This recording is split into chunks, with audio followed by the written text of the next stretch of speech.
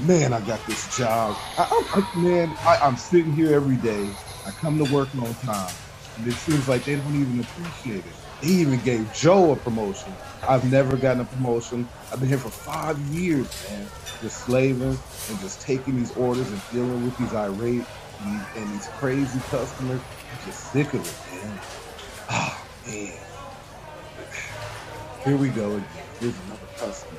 Hello, this is Brian. Welcome to Taco Bell. How may I take your order? Damn right you can take my order, motherfucker. This is well tech. I want two of those damn regular tacos that you got, but fix them up like Supreme Taco. I want the Supreme Taco, but I want to pay the with cheap fries.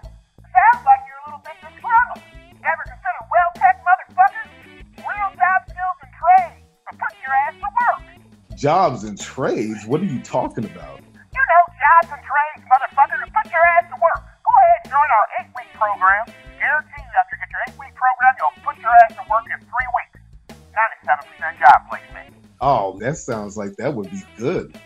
I, I mean, I need a job because I can't, I can't take these customers and Well, shit, I understand, motherfucker, but this is what you need to do. You're not gonna be hacking no more tacos anymore across damn town. Join our five-week program. Gonna put your ass to work in two days, guaranteed. 75% job placement. well, where are you located?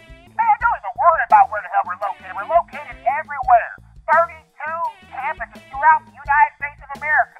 Wow. Ready to, we're ready to fathom. Damn right it's a lot. well, I, that sounds like something I want to do. Well, how do I get a hold of you? Shit, let me go ahead and complete my order and I'll pull around there in a second. Um, second, I want um, one ball of Dr. Pepper.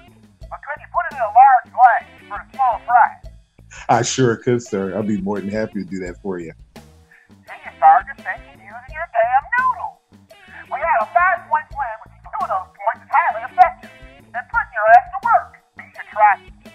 of our five plans that we had. And I know that might not make sense, but it's simple math, motherfuckers. Don't question me. Five, five, five or seven point plan. There's a 10% chance of that. 62% job placement. Well, first you said it was like 93, and now you're saying it's 62. I mean, what is it? Simple math, motherfucker.